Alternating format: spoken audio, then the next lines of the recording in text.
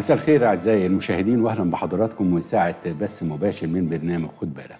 في كل حلقه بنحاول نتكلم في موضوع من الموضوعات القانونية اللي بتهم حضراتكم إنه زي ما بنأكد إنه الجهل بالقانون لا يعفي من المسؤولية.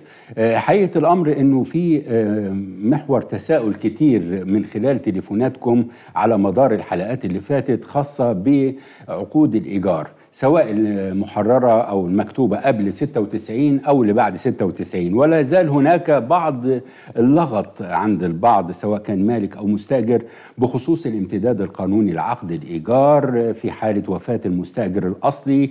ابنه مقيم خارج البلاد هل الإقامة خارج البلاد للهجرة بتختلف عن إذا كان مقيم للعمل؟ حتى لو طال المدة موقف الورثة بالنسبة للعقود الإيجار اللي هي مخصصة ومحددة المدة. نفترض مثلا عقد إيجار لمدة ست سنين ومكتوب العقد ست سنين. المستأجر توفى في السنة الثالثة. هل بيمتد ويسري عليه أحكام قانون عقد الإيجار اللي هو القديم ولا الجديد ولا القانون وضع ضوابط؟ هنتكلم تفصيليا عن كل ما هو يتعلق بعقود الإيجار.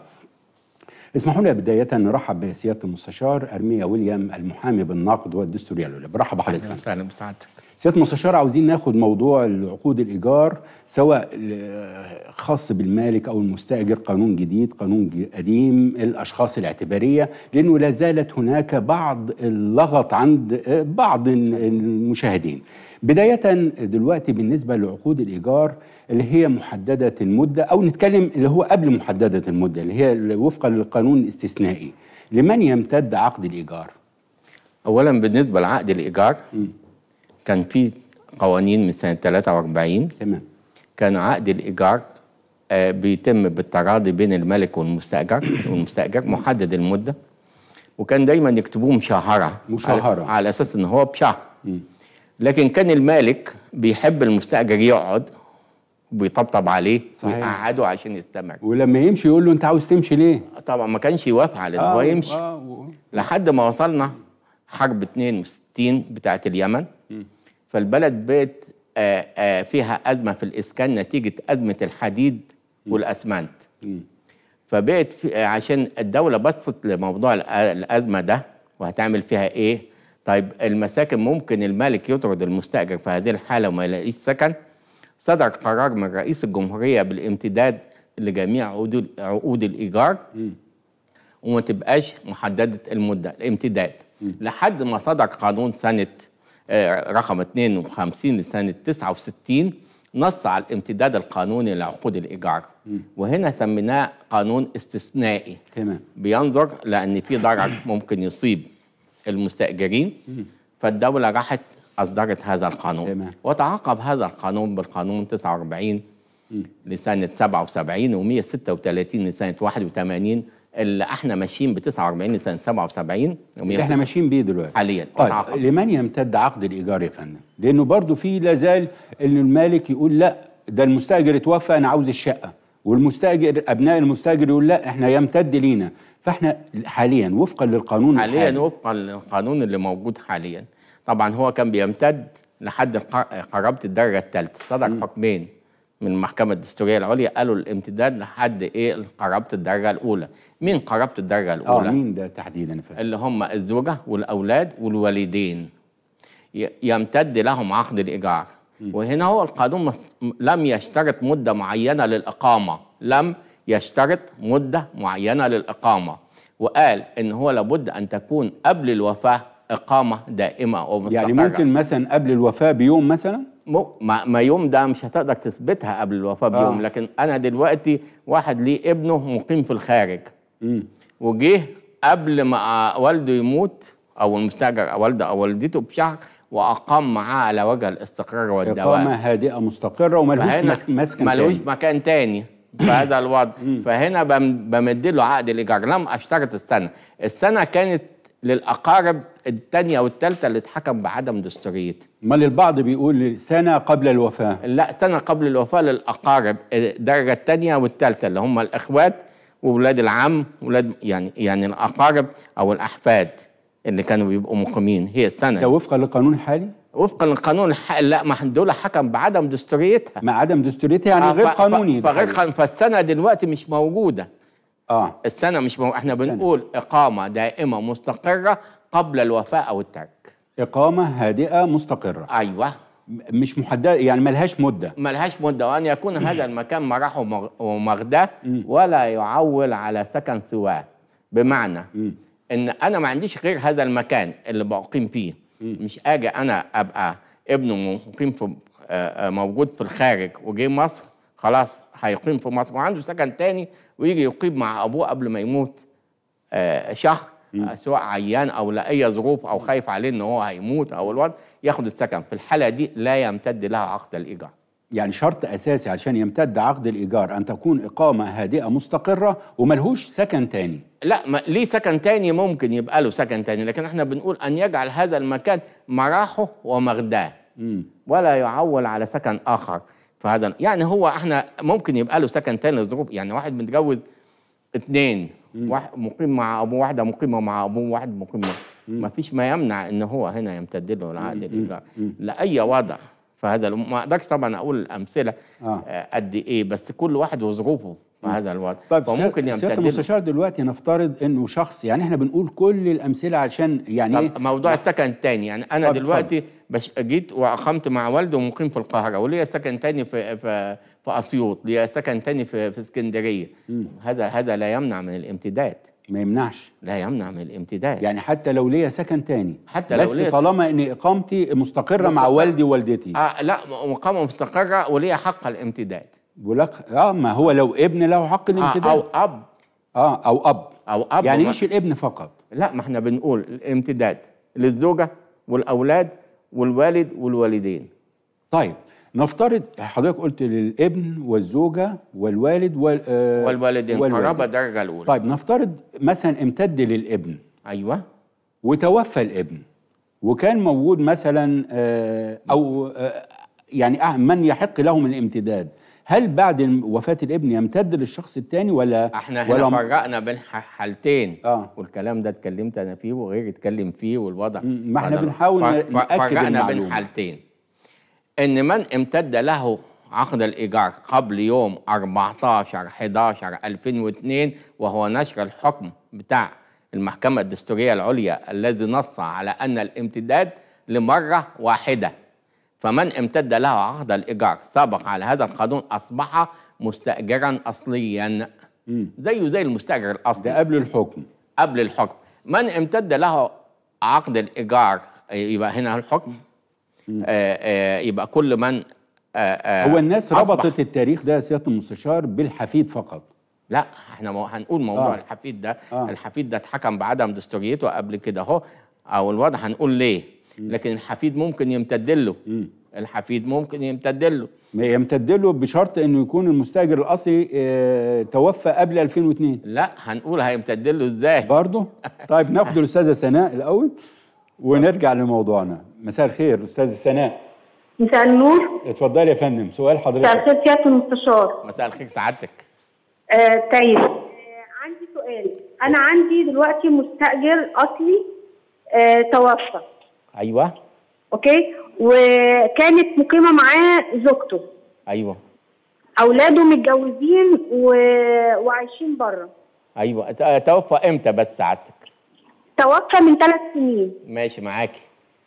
آه الزوجة بعد سنة من الوفاة آه اتجوزت عرفي وأقامت بره الشقة لمدة سنة ونص. ماشي معاكي. وبعد ما تزوجت عرفي إحنا ابتدينا نطالب باسترداد الشقة مم. بشكل ودي والتفاوض. أيوه. ف... فطمعت في مبلغ كبير قوي طبعا آه، مبالغ فيه جدا. مم. فإحنا رفضنا فهي من شهرين حولت الزواج العرفي لزواج رسمي وجابت الزوج وأقامت بيه في. في الشقة. أيوه. آه، ومن ما وما رضيتش لا تظهر قسيمه جواز ولا تظهر بطاقة شخصية للزوج وبيدخل وبيخرج وبي آه، في البيت. آه، إحنا بيت عيلة كلنا مسيحيين ما عدا شقتين بس. ورفضت تظهر أي إثبات شخصية مين الراجل ده اللي بيجي ويبات معاها. وإحنا عملنا آه، رفعنا عملنا إنذار لما كانت متجوزة عرفي وعملنا محاضر إثبات حالة وعملنا إنذار بعدم دفع الأجرة وإنذار بعدم دفع الملحقات. فحاليا الوضع القانوني ممكن يكون إيه؟ وإيه الإجراءات اللي ممكن ناخدها تاني؟ مع العلم إن هي في في خلال الشهرين دول هي جابت ناس تعدوا علينا بالضرب وبالشتايم تمام يا فندم. وبالاذى وبنظام يعني أعلى مسؤولكم اركبوه شكرا لحضرتك يا أستاذ سناء إيه الموقف آه؟ بالنسبة للموقف بتاع الأستاذة هي لم تستشر محامي في هذا الوضع تمام. فهم حاسين إن هم مظلومين وضعهم إن هم اتظلموا في هذا الوضع مم. لكن أنا هقول لها شوية ملحوظات اتفضل زوجها أو المستاجر الأصلي مات من ثلاث سنين. تمام. يعني بعد سنة 2002 امتد عقد الإيجار هنا يمتد لمرة واحدة للزوجة. للزوجة. طيب الزوجة سابت المكان بعد سنة ونص وأقامت في الخارج في, في, في, في بس شقة. بعد الوفاة؟ بعد الوفاة. فإحنا بنقول الاستخدام حق وليس واجب. هي ليها كذا نقطة. فهي من حقها إنها تسيب المكان. مغلق ماشي؟ ووقت ما عايزة تستخدمه ترجع له تاني. ترجع له تاني. مم. طيب رجعت مع شخص غريب معاها. مم. هي مستضافاه. هنا هو بمجرد وفاتها بمجرد وفاتها هينتهي عقد الإيجار. لكن طالما موجود على قيد الحياة من حقها الشقة. من حقها الشقة. طب الشخص الغريب ده لو هي بت... آه، آه، موجودة معاه في شيء مخالف للآداب. مم. ماشي؟ هنا هو بنبلغ بوليس الآداب وإذا أثبت إنها هذه آه، آه، الشقه تدار بالمخالفة لقانون الأداب. هنا هو في الحالة دي لها يصدر على الست حكم. واذا صدر عليها حكم جنائي إنها استعملت تمام. الشقة بالمخالفة للأداب يبقى نقدر نطردها. دي الحالة الوحيدة لطردها لكن هم لكن لو كان زوج لو زوج خلاص زواج شرعي هو يبقى خلاص. وبرضه في ناحية الاداب دي ليها مئة ألف رأي. لأن إحنا بنقول إن العشيق مم. واحدة ليها عشاء. تمام تمام. لا لا جريمة لا جريمة. فطالما مش هتقدر تاخد عليه حكم آه. جنائي في هذا الوضع مش هتقدر يبقى اذا. سيادة المستشار يمتد ليها بقول لها إنها كانت واجب ترجع لمحامي بدل ما هم قاعدين زعلانين وغضبانين والأمور و... تمام. لا. الأستاذ صبري مساء الخير. أستاذ صبري أستاذ صبري اتفضل أستاذ صبري معانا أستاذ صبري معانا على الهوا اتفضل يا فندم طب حاول تتصل مرة تانية بينا. إحنا وقفنا عند إيه يا أستاذ؟ الأستاذ مجدي مساء الخير. مساء الخير يا فندم. اتفضل يا أستاذ مجدي سؤالك؟ سؤال حضرتك أنا كنت شريك مع أبويا ومع اتنين إخوات يعني في دكان مغلق. فالوالد توفى والأخ توفى. ففي واحد من الورثة بتوع أبويا بيطالبنا آه، في المحكمة بيقول أنا عرضت عليهم ان يشغلوا الدكان ما شغلوهوش. وعرضت عليهم يأجروه وهو لما عرض علينا نشغل ولا ويشتكينا في المحكمة. وأنا مش صاحب قرار لأن أنا معايا ورث أكتر من 13 وريث فأعمل معاه إيه ده حضرتك؟ دلوقتي إيه المشكلة في هذا الموضوع؟ هل المشكلة مقامة من صاحب البيت؟ اولا عملية آه، المكان مؤجر ولا ولا تمليك؟ لا ده المحل تمليك. المحل تمليك. أيوه. طيب هو هو إيه صفة هذا الشخص اللي رفع عليك القضية؟ وريث من ضمن 13 وريث في ست قيراط في الدكان. يعني ست يعني ليه ربع ربع المحل؟ طيب لا طيب ملهوش ده هو ده هو وريث 13 13 وريث في ربع المحل. 13 وريث في ربع المحل. آه طيب هو إيه طلباته؟ طلباته آه عايز ريح رجع للمحل وإنت مش مشغل المحل. والمحل مغلق. أيوه في الحالة دي إنت مش مشغل المحل. هو لو عايز يدير هذا المكان إدارة حسنة يرفع د... مش هقول لك يرفع دعوة بإيه ما هو يعني هقول لك كلام يضرك. يرفع دعوة بتعيين بتعيين حارس لهذا المكان لإدارة هذا المكان. طالما في أكتر من شريك يعني. هيديره حضرتك ده لازم موافقة الورث وموافقة الثلاثة التانيين الشركاء. بص حضرتك الدعوة أنا مش ملم بيها كاملة زي ما أنت بتقول ولكن ال- المحكمة هتقول رأيها في هذا الموضوع. أنت عايز توصل للرأي اللي هتقوله المحكمة قبل ما يصدر الحكم آه، أستاذ مجدي في أيوة فندم. استفسار تاني طب علشان سيادة المستشار يرد على حضرتك لا هو ده سؤال يعني. هو أحد الورثة آه، بيطلب ريع في ال- بالنسبة للمحل المؤجر ده, ده ده بيطلب هم 13 وريث أيوه يا فندم. في, في ربع في ربع لا يا الدكان فندم وفقا للقانون هو أحد الورثة حتى لو ليه آه، مثلا جزء هي- صغير. ما هو المحل؟ المحل ملوش ريع. ما هو المكان مش شغال هو قبله آه. فهو ملوش ريع يا أستاذ نشأ تمام. لكن هو بيطالب بريع. ممكن ويطالب في بريع في الحالة دي يطلب تعيين واحد يدير هذا هو المكان. الحارس آه هو الحاجز. هو هو صانع كصاحب قرار صاحب القرار حوالي أكتر من 15 نفر 17 نفر. طب حضرتك هل اتخذ إجراء قانوني ضدك؟ آه رفع دعوة عليا في المحكمة. رفع دعوة. آه، طبيعة الدعوة إيه دي يا فندم؟ ده بي- بيقول لي بيقول, لي القاضي في في رفع الدعوة أنا عرضت إن أنا أشغل أشغل الدكان طب رفض عرضت عليه أجر الدكان رفض. طب تمام. هو أنا صاحب القرار ده؟ أنا ليا ست اسس وست ايرادات طب في الحكم الدعوة إيه؟ موقفها حصل إيه فيها؟ علشان سيادة هي المستشار يرد. جلسة والقاضي إحنا طلبنا منه يقدم المستندات بال- باللي فات تمام. تمام. شكرا لحضرتك فندم. دلوقتي هو بيطالب. حضرتك قلت ممكن في حالة رفض الباقي الورثة اللي يطلب حرس آه، حاجز أو. تعيينه هو حارس لهذا المكان لإدارة ده من حقه. آه، من حقه انه يطلب تعيينه هل- لهذا المكان. هل- المحكمة في هذه الحالة إما أن تحكم تتلاقي إن كلامه وجيه وإما أن تنظر أن نصيب نصيبه في المحل قليل في هذا الموضوع وليس له الحق في رفع الدعوة.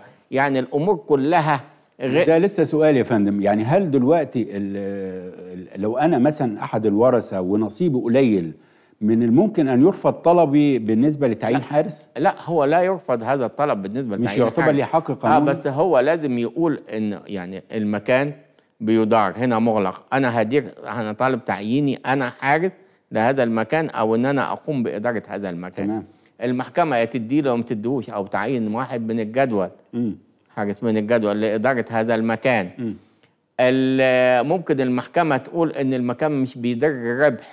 صحيح. فالوضع هو بيطالب بريع يعني هو مش بيطالب تعيين حاجة هو طالب بريع. مم. فمكان لا يدر ربح فين الريع؟ آه. اللي أنا هديهوله فترفض الدعوة. يعني شكل الدعوة ماشية في طريق الرفض كده. ماشية في طريق الرفض بس إيه هي الدعوة وإيه موضوعها وإيه حكايتها بالظبط والراجل أسانيده إيه؟ كل الكلام ده مكتوب في الدعوة.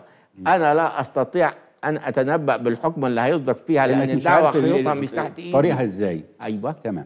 سيادة المستشار يعني إحنا آه، وصلنا إنه الامتداد شرط أساسي أن يكون هناك إقامة هادئة مستقرة مع المستأجر الأصلي. أيوه. طيب في برضو يعني حاجات كتير بتحصل أو بتتكرر إنه مثلا الابن مسافر للعمل بالخارج والوالد توفى. ده يمتد هو طالما إن هو؟ الابن كان مقيم مع أبوه قبل سفره آه. فإحنا بنقول أن رفض. إقامته في الخارج إقامة عرضية عرضية آه إقامة يعني موقوتة عرضية موقوتة بيمتد ليه؟ يمتد له طبعا عقد الإيجار ده إمتى يمتد له عقد الإيجار إذا كان أبوه والده المستاجر الأصلي قبل آه يعني إيه في القانون القديم في ظل القانون القديم يمتد له طبعا عقد. يمتد له عقد طبعاً. الإيجار طيب لو اتكلمنا يا فندم بالنسبة لعقود الإيجار اللي هي محددة المدة.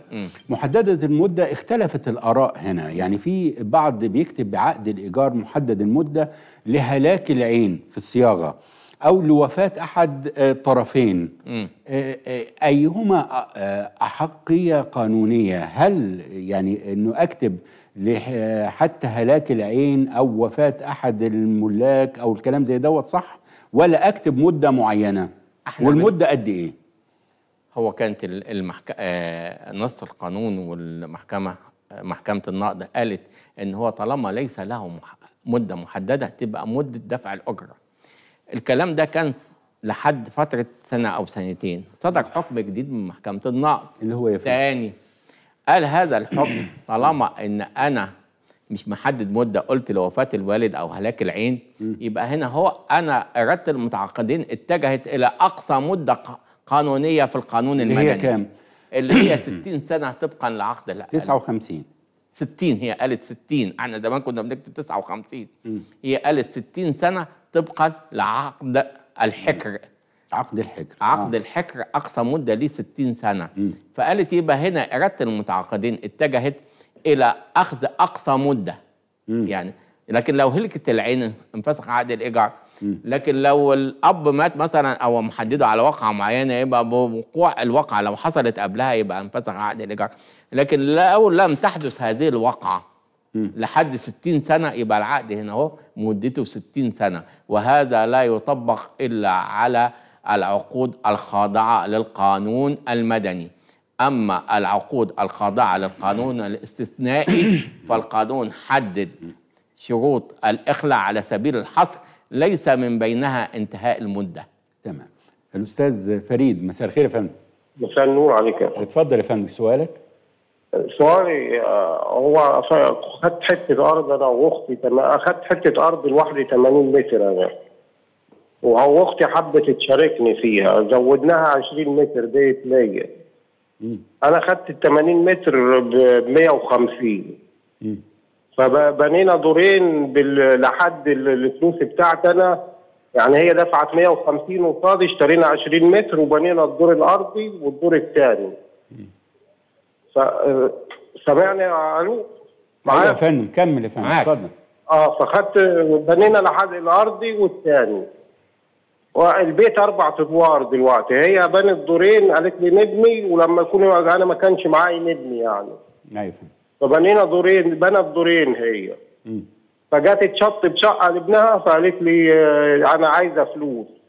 خدت آه، مني آه، الشقة الدور الثالث يعني. أيوه فندم أصبح فاضل دور واحد هو. فأنا حب حابب يعني البيت الأرض بالنص. فهي بانيه الدور اللي فوق لوحديها أيوه. فأنا عايز فأنا قلت لها خدي آه، بسعر الم- خدي فرق المباني اللي فوق مش راضية. أي حاجة مش راضية تحل معايا فيها يعني. أيوه. في الدور اللي فوق. هي عايزة تاخد الدور اللي فوق لوحديها والأرض بالنص. أنا عايز أعرف موقفي إيه يعني آه، أعمل إيه معاها يعني. طيب ثواني. سياده المستشار في آسف صار؟ لا هو بالنسبة له دلوقتي هو ال- ال- المبنى شركة عاوز حضرتك. تستفسر عن حاجة؟ شكرا أستاذ فريد. شركة هو وأخته. حصل نزاع بالنسبة لل... لل... لتقسيم الشركة أو تمام. تقسيم المنافع الشراكة اللي بينهم. الشراكة اللي بينهم. يرفع دعوة قدام القضاء بفرز وتجنيب باسم هذا المال الشائع والمحكمة هتحولها الخبير إذا كان يتقسم زي ما هو بيقول إن هو الحدود بتاعتهم شائعة أو طبقات فهو غالبا هيتقسم.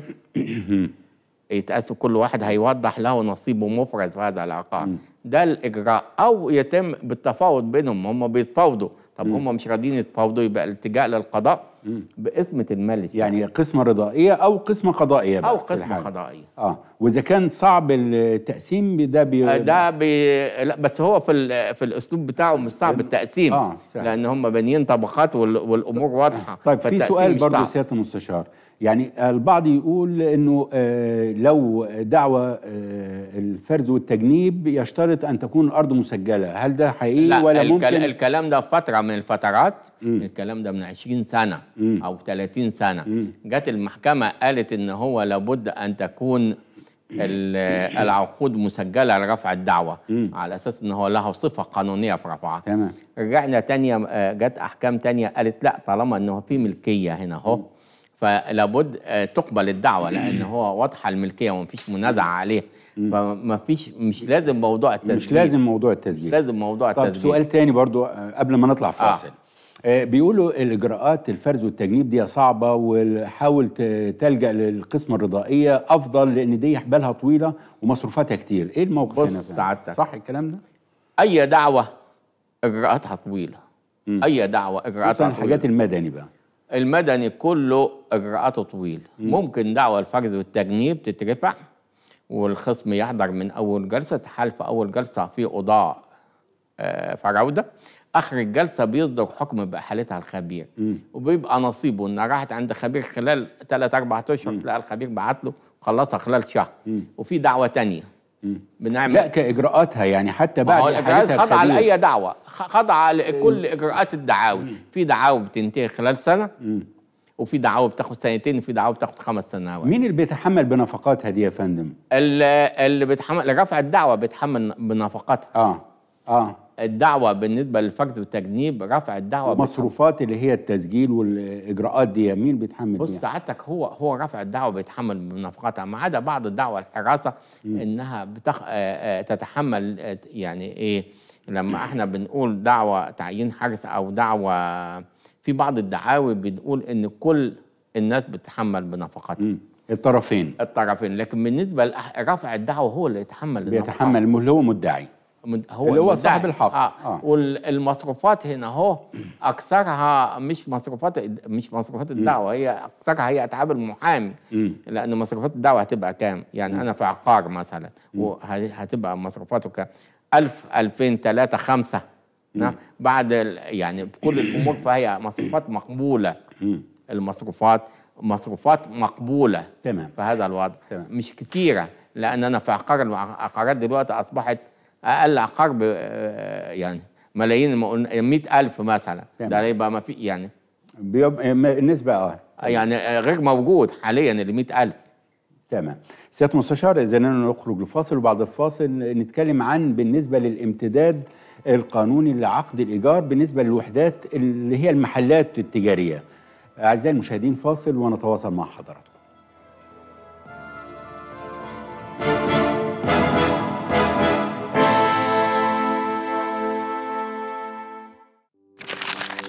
تم تغيير تردد قناة ميسات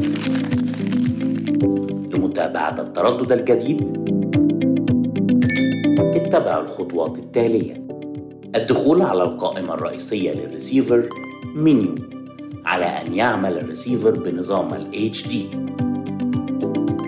اختار تركيب أو تثبيت Installation. يجب اختيار قمر النايل سات وإضافة التردد الجديد في خانة التردد. Frequency أو Transponder 11257 وعدل باقي البيانات لتصبح كالآتي. Frequency أو التردد 11257 Simple Rate أو معدل الترميز 27500 Polarization Horizontal. الاستقطاب أفقي. FEC أو معامل تصحيح الخطأ 3 على 4 ثم سكان ليتم إضافة قناة ميسات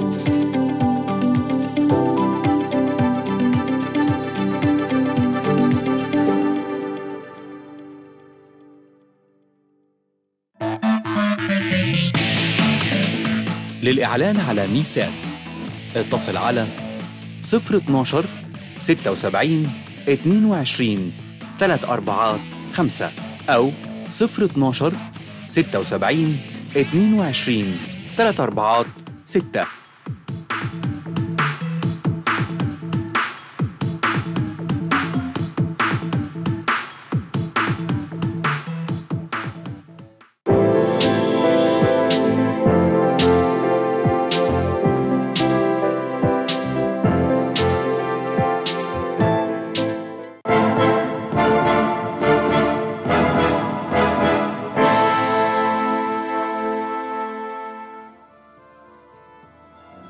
المستشار يعني إحنا موضوعنا اللي هو الامتداد القانوني لعقد الإيجار فإحنا اتكلمنا عن الامتداد الخاص بالوحدات السكنية بالغرض السكنة بالنسبة للمحلات بس ناخد الأستاذ سمير ونرجع للمحلات. الأستاذ سمير مساء الخير. مساء النور. اتفضل يا فندم. م- آه، ممكن أكلم سيادة المستشار؟ معاك معاك المستشار. اتفضل يا فندم. آه، حضرتك أنا ابني عنده شقة تمليك. فبنى حمام داخل أوضة النوم. فبعد كده آه، بعد كده حضرتك آه، جاره رفع عليه قضية. فالمهم خدنا فيها براءة. اتزال الحمام مفيش أي حاجة. ألو؟ أيوه اتفضل معاك. معاك يا فندم. اتزال الحمام ومفيش أي حاجة. فوجئ وهو بيعمل رخصة العربية السنة دي آه، فاجئ إن في قضية تانية قضية تانية على نفس الموضوع ونفس. وجه تقرير من الحي إن هو عمل حمام وعمل مخالف وقدره ب 1200 جنيه. يعني رفع ال- 12000 جنيه. رفعوا عليه 12 دعوة تانية. دعوة تاني مم. فالمهم آه، زميله كان في في شؤون قانونية قال له دي عملية سهلة وممكن نخلصها بسرعة. للأسف دخل على الاستئناف مباشرة. ما عندهوش خبرة لسه متخرج من كلية الحقوق. فدخل على الاستئناف مرة واحدة. ما قدمش أي حاجة قدم بس آه، حكم البراءة. ما قدمش أي حاجة من الحي يفيد إن هو إن تمت هو الإزالة مسبقا. تمت الإزالة مسبقا. أيوه. وجه الخبير قيم إن مفيش حمام وخد بناء عليه حكم البراءة. سنة آه، آه، سنة 2019 أيوه جه الحكم دلوقتي بغرامة واحد في المية من قيمة الأعمال عن كل يوم حتى تاريخه. يعني جينا حسبناها حوالي آه، 400 ألف جنيه. مم. أيوه. فرأي سيادة المستشار إيه؟ بص سعادتك بالنسبة للأحكام الغيابية بيتعمل فيها حاجة اسمها المعارضة.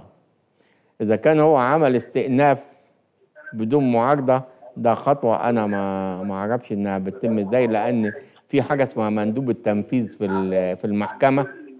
بيقول له الحكم غيابي ويتعمل فيه معارضة. يعني أستاذ سمير هو كان حكم غيابي يا فندم؟ طبعا. آه كان حكم غيابي. تمام. طبعا. تمام. فهو كان كان حكم, حكم غيابي. الغيابي هنا أهو واجب كان يتعمل في المعارضة. عمل استئناف يبقى هنا تنازل. عن المعارضة. ما عملش من معارضة عمل استئناف آه، مباشرة. يبقى اتنا- اتنازل عن المعارضة. آه. اتنازل عن المعارضة. القاضي ضرب عرض الحائط بالحكم هو دفع بحاجة اسمها عدم جواز نظر الدعوة لسبق الفصل فيها. بالحكم أيوة. رقم كذا اللي أصدر عن ذات الواقعه ونفس الأشخاص اللي أصدر فيها براءة عن الواقع. القاضي ما أخدش بيه القاضي ما أخدش بيه. في الحالة دي بنعمل بنعمل نقد ونعمل إشكال في التنفيذ. ونقول إن إحنا عملنا النقد ومتمسكين بعدم جواز نظر الدعوة لسبق الفصل الفصل فيها ولكن المحكمة آه، فهنا الحكم منظور وقف تنفيذه. وفي الحالة دي بيتوقف التنفيذ. تمام أستاذ سمير؟ شكرا لحضرتك يا فندم. في أي إضافة تانية يا فندم لا بالنسبة ما للاستاذ فيش إضافة تانية بس أنا طبعا في ملحوظة هنا أهو. اتفضل يا فندم. ممكن تكون فت عليا. هل هو الحكم اللي صدر عليه بالغرامة بس ولا الغرامة والحبس؟ تفرق يا فندم؟ آه.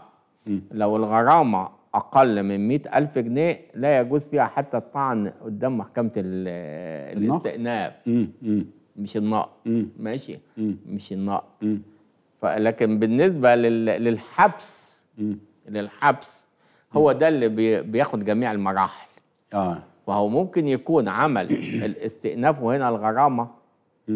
تقل عن المئة ألف جنيه فالمحكمة ما قبلتش الاستئناف. آه تمام. دي يمكن فت عليا لأن أنا ما عرفتش إذا كان حكم حبس آه ولا يعني غرامة. غرامة ولا غرامة وحبس. آه غرامة غرامة غرامة وحبس لأن هو ما قالش الوضع إيه. تمام. سيادة المستشار بالنسبة للوحدات المؤجرة للمحلات التجارية لمن يمتد يعني؟ وخصوصا إحنا بنسمع إنه الامتداد مرة واحدة وشرط أن يمتهن نفس المهنة. هل الكلام ده موجود ولا في تغيير؟ طب نتكلم. إحنا بالنسبة للوحدات التجارية كان القانون مم. قبل سنة 97 مم. بينص على الامتداد على طول. يعني الامتداد حتى قرابه الدرجة الثالثة وانتهى عقد الإيجار بيمتد زي المساكن مرة واثنين وثلاثة. مم. اطعن عليه أمام المحكمة الدستورية العليا مم. المحكمة الدستورية العليا قالت هنا أهو أن المشرع فضل مصلحة المالك عن مصلحة آه فضل مصلحة المستأجر وض- وعن ال- المالك أو المؤجر وضرب بها عرض الحائط بما معناه يعني. وهنا هو بما يهدر هذه الحقوق وأن عقد الإيجار يجب أن ينتهي بمجرد وفاة مم. المستأجر لأن هنا العقد شخصي. وإذا سمحنا بامتداد عقد الإيجار بالوضع القانون الحالي من واحد لواحد لواحد يبقى المستأجر هينتفع به. مم. ولا يترك يبرح هذا المكان إلا إذا أخذ مبالغ نقدية من المالك. اللي بيحصل إيه دلوقتي؟ واتحكم بعدم الدستورية. الدولة راحت أصدرت قانون تاني. مم. عد... بهذا بهذا آه. الوضع. وقالت طيب نقول إن هو لا يمتد إلا لمرة واحدة. ل...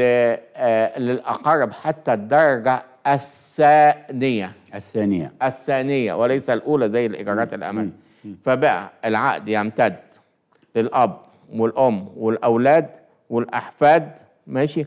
الدرجة الثانية كل ما هم موجودين في الدرجة الثانية فأول مرحلة إحنا قلنا القانون ده صدر سنة 97 تمام. كنا بنقول أن العقد يمتد المره الواحده طب امتد العشرة مات منهم واحد ينتهي العقد. لحد ما صدر حكم إيجار الأماكن بتاع المساكن وقلنا إن هو بيمتد للجيل كله مرة واحدة آه. للجيل اللي امتد له. ولا ينتهي إلا بانتهائهم. أيوة. يعني مثلا امتد واحد مخلف أربع أو خمس أولاد عشر أولاد. مم. مقيمين في الشقة. وزوجه ومعاه اب وام امتد لهم كلهم. لا ينتهي العقد إن هو إلا بو... بوفاتهم. كلهم أو تركهم هذا طب المكان. بالنسبة للمحلات؟ بالنسبة للمحلات فابتدت المحاكم تاخد اتحيرت بين الاثنين. هتاخد مرة واحدة ينتهي بمجرد وفاة أحدهم أو الوضع الثاني فهذا الوضع ما وصلناش لرأي مستقر. محكمة النقد ما قالتش حتى تاريخه رأيا مستقرا في هذا الوضع. لكن ال- ال- المعتاد الحرف في الأحكام بتاعة الابتدائي والاستئنافي بيدي لكل الجيل لحد الدرجة الثانية الامتداد القانوني. تمام. فهذا فهذا, فهذا الوضع. ولكن بيشترط إن هم يكونوا إن هم يست- يستعملوا المكان في ذات النشاط يعني يديروا هذا المكان في ذات النشاط الذي يستعمله المستأجر الأصلي, الأصلي. ماشي؟ آه. ويستعملوه. طيب. أو بذواتهم أو عن طريق غيرهم. أو عن طريق غيرهم ال- يعني ممكن إدارة. ممكن, حد إدارة. فبيتحايلوا على الواقع الواقعه دي إزاي. طب ما فهمش واحد بي- بيزاول نفس النشاط. نشاط آه. فبيجيبوا واحد يأجروا له المكان ويكتبوا عقد إدارة. مم. بينه بين بينهم وبينه.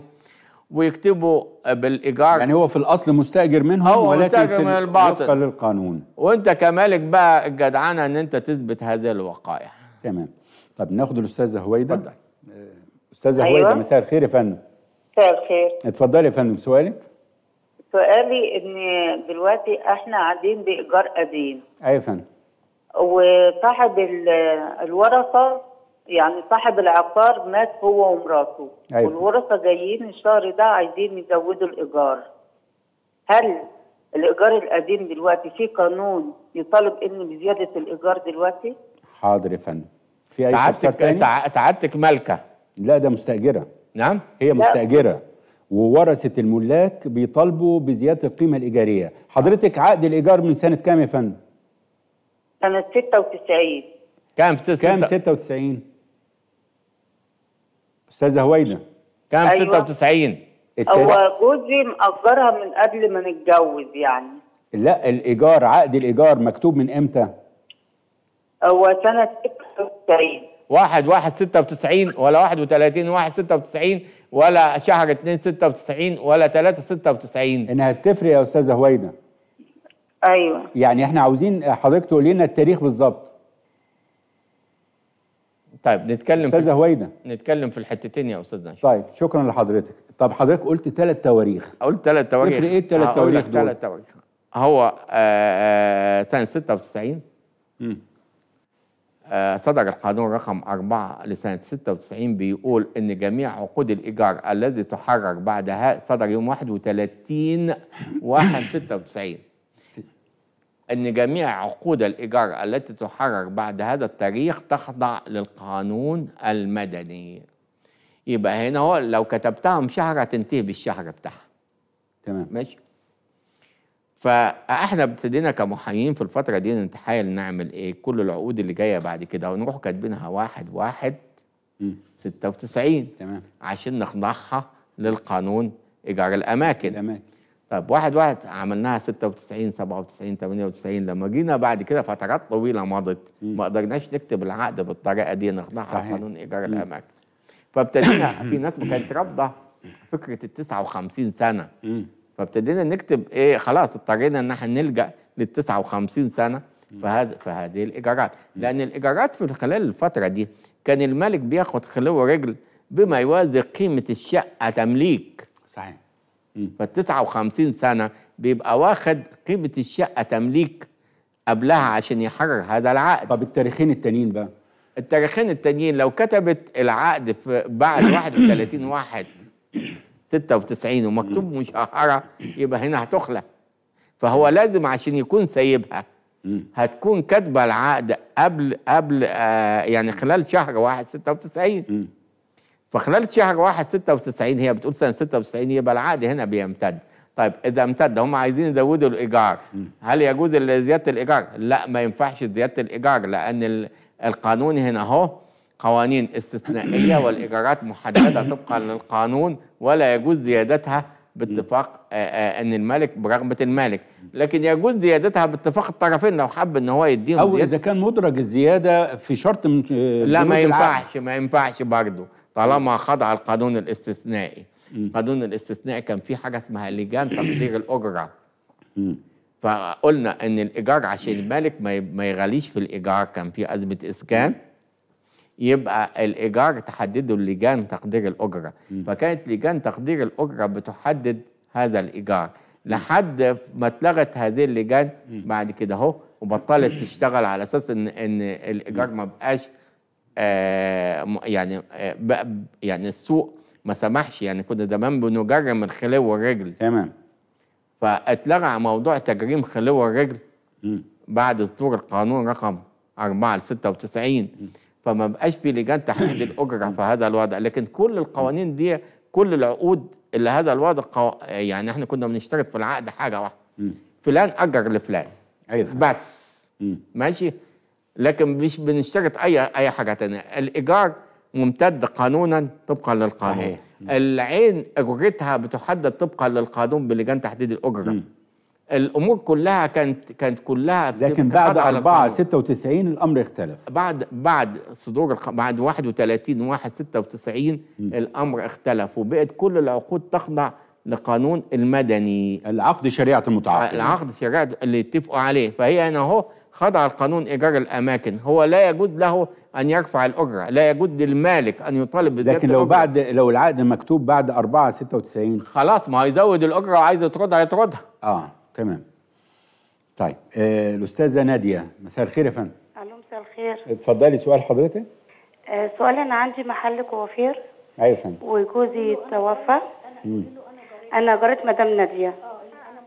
مسلمة. استاذن حضرتك ممكن نوطي التلفزيون؟ حاضر. ونسمع بعض من التليفون. حاضر. اتفضلي يا فندم. أنا دلوقتي جوزي توفى. مم. آه، شهر 12 اللي فات. وأنا عندي محل كوافير حريمي. هو مم. كان شغال فيه. مم. فالمالك رفع عليا دعوة آه، ب- بان أنا مش ماليش الحق في المحل اللي أنا ولا أولادي. ليه؟ آه، قال لي لا عشان أنتوا ما كنتوش بتزاولوا المهنة وهو عايش. مم. فأنا مش عارفة أعمل إيه والجلسة عندي 4 11 تمام. طيب هو رفض ياخد القيمة الإيجارية؟ آه هو رفض ياخد القيمة الإيجارية. أنا كنت بديها للمحامي بتاعه والمحامي ما كانش بيديني وصل كذا. شهر وبعد كده رحت طب حطيتيهم في المحكمة يا أستاذة نادية ولا إيه؟ أيوه حطيتهم في المحكمة تمام طيب سيادة المستشار في أي استفسار؟ لا ما عنديش أي استفسار. إحنا عقد الإيجار للأماكن التجارية أو المهنية يمتد للأقارب من حتى الدرجه الثانية الذين يزاولوا ذات النشاط في العين بذواتهم أو عن طريق آخر يعني آخرين. ممكن أستاذة نادية تجيب حد يدير المحل فأنت بتجيبي حد يدير المحل الوضع قانوني هنا سليم طالما بيزاول نفس النشاط. وحتة نفس النشاط دي يعني محكمة النقض غيرتها قالت إن هو بيبقى يعني مثلا أنا فاتح فاتحه كوافير حولته لمحل بآلة. قالت طالما ما فيش ضرر على المالك. في هذا الوضع. فيعتبر إن هو لكن في. وضعيه الأستاذة نادية هنا نطمنها ولا نقول لها طمنها خلي طبعا مش هيقدر إيه؟ مش هيقدر مش هيقدر يطردها أستاذة نادية اطمني يعني مش من حقه بس هي يطردك. ال- في حالة واحدة اللي ممكن يطردك إن أنت تبقى غلقت المكان قفلاه فترة طويلة لحين رفع الدعوة يبقى يفترض إنك مش بتمارس النشاط يبقى هنا هو بيفترض إن أنت مش بتبكس لا تمارس النشاط وممكن يحكم هنا بالطرد لكن هي دلوقتي في وضعها إيه يا في فندم؟ وضعها الحالي هي سواء إن هي اللي بتشتغل في المحل أو متواجدة في المحل وجايبة عمال بيشتغلوا أو هي قاعدة ببيتها وجايبة عمال بيشتغلوا. طالما تدير يبقى هذا. المكان. يبقى هنا هو لا يستطيع طردها من هذا المكان. أستاذة نادية زي ما قالك سيادة المستشار اطمني بس حضرتك ما تغلقيش المحل وخلي حد يدير المحل وحضرتك باشري كإدارة يعني. وادفعي القيمة الإيجارية زي ما قال سيادة المستشار. خلاص، ما هي بتدفع والقيمة الإيجارية. برضو عايزين نركز عليها يا فندم لأنه في خطأ. إنه مثلا لو الإيجار 100 جنيه نخلي بالنا من القيمة وال... هو- هو والمصروفات. والملحقات عايزين نوضحها مصروفات وملحقات ما هو المحل ملهوش ملحقات مش في مية و ده لو كانت موصلة له المية آه. آه. بالنسبة للمحلات أغلبها بيبقى مركب عداد لوحده لوحده لوحده طب مش في أجرة مثلا بواب لا، ملهاش ملهاش بالبواب. طب ما فيش ملحقات خالص ملهاش المحلات؟ ملحقات المحلات أغلبها ملهاش طيب، ملحقات بس لكن هي الزيادة السنوية في اللي موجود اللي مبني العقارات اللي مبنية بعد سنة 79 بتزيد 1% العقارات اللي مبنية قبل 79 بتزيد كل سنة 2% آه. بس إحنا نعتبر إن هو 2% فهي كل ما بتدفع كل سنة تزود له الإيجار 2% يعني عن تحط مثلا لو 100 جنيه آخر تزود آه، في القيمة الإيجارية آخر. آخر إيصال موجود معاها تزود عليه 2% كل سنة. تمام. سيادة المستشار إذا نخرج فاصل بعد الفاصل نكمل موضوعنا عن امتداد القانون لعقد الإيجار. أعزائي المشاهدين فاصل ونتواصل مع حضراتكم.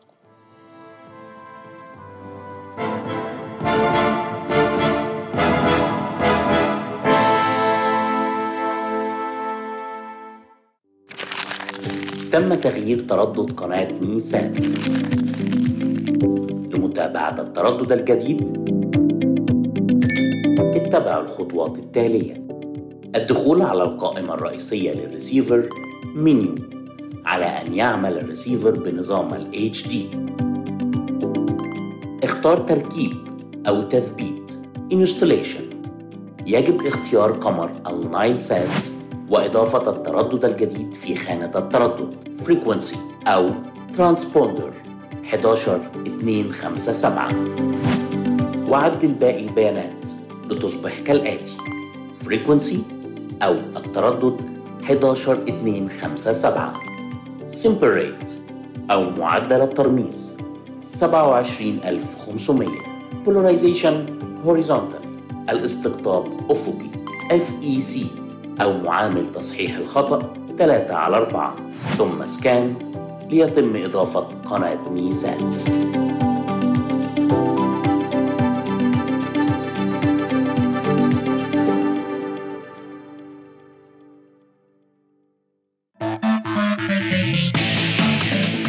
للإعلان على ميسات اتصل على 012 76 22 3 أربعات 5 أو 012 76 22 3 أربعات 6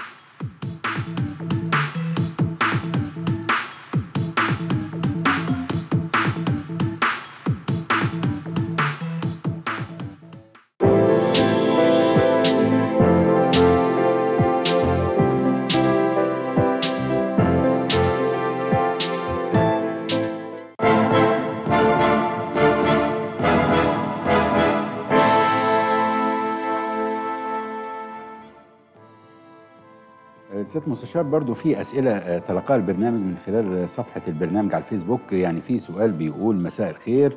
اولا ب- شكرا خالص على برنامجكم المفيد بنشكر حضرتك. آه، ثانيا آه، لو سمحت تسأل الأستاذ المحامي أنا جوزي عنده بيت ورثه من أبوه على المشاع مع أخوه ووالدته وأنا ما عنديش أولاد وهو عاوز يكتب لي شقة أو نصيبه في البيت لتأميني لو حصل له حاجة بعد الشر. بس بدون علم أهله علشان المشاكل بحيث آه، طول حياته تفضل الحاجة بتاعته فنعمل إيه؟ هل في تصرف قانوني يا فندم؟ التصرف القانوني في هذا الوضع إن هو يعمل لها عقد بيع. عقد بيع ويعمل عليه صحة توقيع. ويظل هذا العقد موجود ولا يظهر هذا العقد إلا في حالة وفاة الزوج. وهذا العقد يبقى موجود مكتوب فيه إن إن هذا البيع تم وإن الزوج قبض الثمن كاملا من زوجته. ماشي؟ وإن الملكية قد انتقلت لها فور انعقاد الع- ال- العقد. طب الشقة دي إذا كانوا هم موجودين فيها يبقى الملكية انتقلتها فور هذا الوضع وهو جوزها مقيم معاها. وليس مضافا إلى ما بعد الموت على أساس اعتبار وصية. تمام. ده الحالة الوحيدة اللي ممكن يعملها في. عقد مخفي مم. غير غير غير غير معلن. غير معلن. تمام. طيب آه، برضو في سؤال تاني من خلال صفحة البرنامج بيقول آه، هل تعاقد أجنبي جنسيته ألمانية على إيجار شقة بعقد إيجار لمدة سنة خصوصا لما يكون زوج مع زوجته؟ هل توقيع الزوج كافي ولا الزوجة توقع معاه على العقد؟ ده أول استفسار. كمان ما هي الإجراءات القانونية التي تكتب في العقد حتى نضمن عدم حدوث مشاكل فيما بعد؟ وماذا لو تركوا الشقة وسافروا بعد انتهاء المدة وتركوا العفش في الشقة من غير ما يدفعوا الإيجار؟ ما هو الوضع القانوني في ذلك؟ وشكرا لحضراتكم. شكرا. هو هنا اللي بيسأل هنا مالك. أكيد. آه. ماشي. الملك هنا هو أنا بأجر لزوج لواحد معاه زوجته فبتقيم معاه فترة الاجاره أيوة. فأنا مش لازم إنها توقع معاه. طب الراجل اللي جريت له حاجة. زوجته لو استمرت امتد لها عقد الإيجار لأن من حقنا يمتد لها خلال السنة. تمام. استمرت في هذا المكان تبقى هي ملزمة بدفع الأجرة. طب إذا هو مشي. غادر البلاد. يبقى بمجرد مغادرته البلاد هجيب شهادة من الجوازات بالمغادرة يبقى هنا انتهى عقد الإيجار. هرفع دعوة مستعجلة قدام القاضي المستعجل وأقدمها له هيديني حكم بالطرد. هروح انفذها عن طريق المحضرين. آه وبالنسبة لو هي بتسأل يا فندم لو موقف لو في في الشقة مثلا عفش عفش. بستلمها على سبيل الأمانة. جم خلال ثلاث سنوات استلموها ما جوش خلال الثلاث سنوات أصبح ليس لهم الحق في المطالبة بشيء. تمام. آه الأستاذ عبد الله مساء الخير يا فندم. أستاذ عبد الله. آه معاك يا باشا. الله اتفضل يا فندم. سؤال حضرتك. سؤالي أنا اشتريت شقة سؤالين السؤال الأول. أنا اشتريت شقة في القاهرة يعني مم. قديمة. فعايز أعدل فيها يعني عايز أشيل البلاط وأعمل سيراميك مثلا. تمام. وأعمل هل في في, في ده عايز إجراء مثلا قانوني ولا صعب شوية؟ حضرتك يعني عاوز تغير في السيراميك ولا ولا عايز تفتح تشيل حوائط ولا إيه؟ عشان لا لا تفرق. هو آه، في أوضة منهم بالخشب عايز أعملها طوب مثلا. امم بس ده ال- ال- التعديل اللي هو يعني يعني هتشيل حيطة يا فندم ولا لا؟ هشيل حيطه آه أنهي؟ اللي هي بين المطبخ والأوضة. هعمل ال- ال- الأوضة اللي بالخشب ده أعملها مطبخ وال- والمطبخ هعمله تمام. أوضة التعديلات الداخلية دي مسموح بيها ولا لا, لا فندم؟ التعديلات الداخلية طالما لا تؤثر على عقار فهو مسموح بها لكن ولكن القانون نص هنا أهو إن أنت واجب تاخد تصاريح في هذا ال- في ه- في هذا ال- الوضع. لكن المعتاد إن أنت بتتمم ترخيص في هذا المكان المعتاد إن أنت بتتمم ال- الت- التعديلات الداخلية طالما لا تؤثر على العقار يعني عقار موجود مبني بالمسلح والحيطة ليست حاملة. فأنا بشيلها. مفيش ما يمنع إن أنا أشيلها. والشقة ملكتي محتاج هو تمليك. محتاج يلجأ للمالك يعني. هو هو قلقان. مش خلاص بقت شقته ماله ما مالك بيه. أنت تعتبر مالك يا أستاذ. لكن أنت هتيجي توقع لي عمود. تصريح من لا. الحي مثلا. لا مش لازم تصريح من الحي. طالما مش يعني زي ما قالك سياده المستشار يا أستاذ عبد الله طالما حاجة ما تأثرش على آه، أساس العمارة أيوة، لا تضر اطمن. بالعقار. لكن عاوز تغير سيراميك غير اعمل اللي انت عاوزه. عايز تحط الحمام بقى آه، بدل المطبخ احطه عايز تشيل حيطة في الوسط جانبية صغيرة غير حاملة شيلها. لكن ما تجيش مثلا تاخد حيطة واخدة من أول الشقة لآخر الشقة هشيلها. آه أو حاجة تقرب على عمود أو كمر أو حاجة زي كده.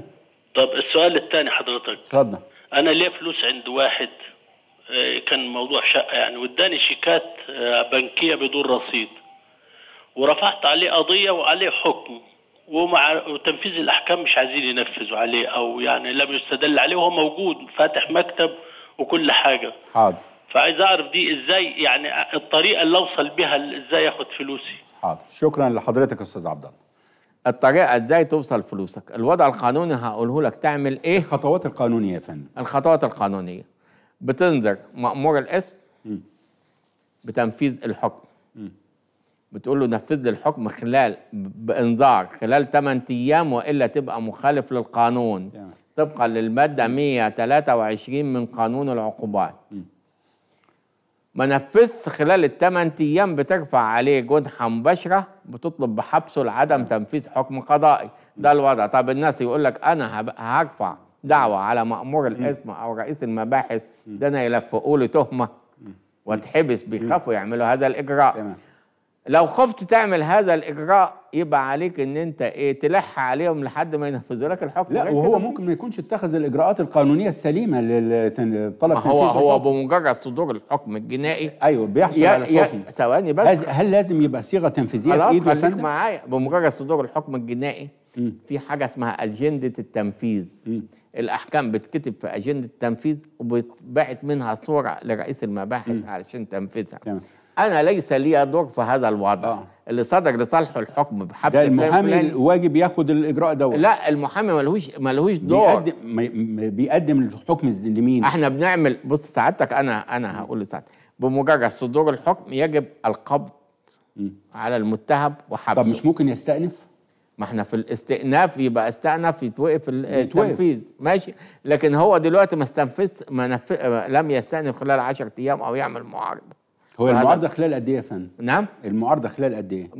المعارضة مفتوحة بس أنا بقبض عليه لأن الحكم هنا هو غيابي من حق إن أنا أقبض عليه في أي وقت يعني لو حكم غيابي من حق آه يبقى ينفذ عليه عمل معارضة بنقول له روح ما عملش معارضة يبقى قاعد في ال- في, ال- في هو ليه. دايما بيخافوا يا فندم يعملوا معارضة ويحضروا الجلسة؟ ما هو ثواني دلوقتي أنا بعمل معارضة يبقى قطعت مدة التقادم آه. لأن لأني إحنا بنقول يعني أنا أول ما بقيت محامي. من فترة 40 سنة تقريبا. كانت الأحكام تنفذ على طول سريعا. بعد شوية ابتدت الموضوع يبقى لازم أجري وراه. مع إن ليس دوري هو دور الجهة التنفيذية تمام. في تنفيذ الأحكام لاستقرار المجتمع. أنا بقول له المأمور مش عايز ينفذ ماشي حضرتك قلت له الخطوات هذا الوقت. طب يعني. أنت خايف؟ يبقى آه، تلح عليهم. بإذن الله. بس. الأستاذ ميخائيل مساء الخير يا فندم. يا فندم. اتفضل سؤال حضرتك. آه بص أنا والدي ما كان مأجر آه، سنة 1956 وتنيح ووالدتي اللي مقيمة بالشقة النهاردة عندها 85 سنة. تمام. آه آه كنا بندفع الإيجار منتظمين مم. لغاية 2015 بناخد عقد وبعد كده 16 17 18 بنديله أجرة ياخدها. يقول لك حاضر أعمل لكم الإيصال الإيصال جه السنة دي رفع آه دعوة إخلاء الشقة لانتهاء العقد. انتهاء العقد إزاي؟ على أساس إن كده 59 سنة وخلاص كده يبقى تسلموا الشقة حضرتك مش بتقول الايجار العقد المحرر بسنه 56 آه 56 طب ما فين محدد المدة؟ ما هو ما فيش هو عمل إنذار كده و... طب و... وعملتوا إيه أنتوا؟ إحنا قولنا محامي على أساس إن هو يشوف الأخبار هل دي قضية آه ممكن إحنا طب إيه القضية وصلت لإيه يا فندم؟ لا لسه هو لسه ما فيش حلو. جلسات اتحددت طيب سيادة المستشار تسألوا حاجة يا فندم؟ بص سعادتك في أي. استفسار منه يا فندم؟ لا. طيب شكرا أستاذ ميخائيل. بص سعادتك. إحنا بنقول القانون الاستثنائي ليس له مدة. مدة صحيح. القانون الق- القوانين الاستثنائية لم آه آه آه لم يعني لم تضع شرطا لانتهاء لطرد المستأجر بالمدة. لم تحدد مدة للعقد العقد مستمر على طول. ماشي؟ ليس لي- ليست المدة من شروط الانتهاء العقد. صحيح. ماشي؟ ولكن صدر حكم محكمة دستورية حكم محكمة نقض اتنشر على النت وقال أن عقود الإيجار تنتهي بعد 60 سنة. الموضوع حصل فيه لبس في هذا الوضع لأن الحكم مش واضح. بعضهم قالوا أن الحكم ده يطبق على عقود الإيجار القديمة. جبنا الحكم ده إحنا واطلعنا عليه وأنا يمكن سبت صورة للأستاذ نشأت آه، وقلنا هذا الحكم تخضع له الإيجارات الخاضعة للقانون المدني بس. وليست الإيجارات الخاضعة للقانون ده الاستثنائي قولا واحدا. قولا واحدا. طيب قبل فمش هيستطيع بالطرد. هذا الطرد مرفوض هذه الدعوة مرفوضة. اطمن يا أستاذ ميخائيل ده كلام مش مظبوط. طيب سياده المستشار يعني آه، آه، البعض يقول إنه في آه، حاليا مناقشات لقانون خاص بعقود الإيجار الجديدة. يعني ملامح المقترحة أو اللي حضرتك بخبرتك القانونية علشان نرضي المالك والمستاجر لكن نؤكد إنه حتى الآن لم هذا يناقش ولم يطرح على مجلس النواب. لكن إحنا بنقول لو تم مناقشة أو القانون حضرتك بتقترح إيه؟ اولا لابد في هذا الوضع إن هو يبقى هنا المصلحة بين الطرفين بين الملك والمستاجر. لا يجوز أن أجي في صف الم- الملك أو المستأجر. لكن اللي حصل أن القانون اللي موجود حاليا جاء في صف المستأجر. إحنا بنتكلم المقترح إيه؟ ماشي. المقترح المقترح. إن أنا دلوقتي ظلم الملك في إيه؟ إن عقد الإيجار بالنسبة له لا يدر دخل. كان زمان بيأجر بخمسة جنيه والخمسة جنيه كان بتجيب 20 كيلو لحمة. دلوقتي الخمسة جنيه يعني حضرتك. بتقترح إنه إيه فبقترح إن هو زيادة الإيجار زيادة الأجرة. بنسبة.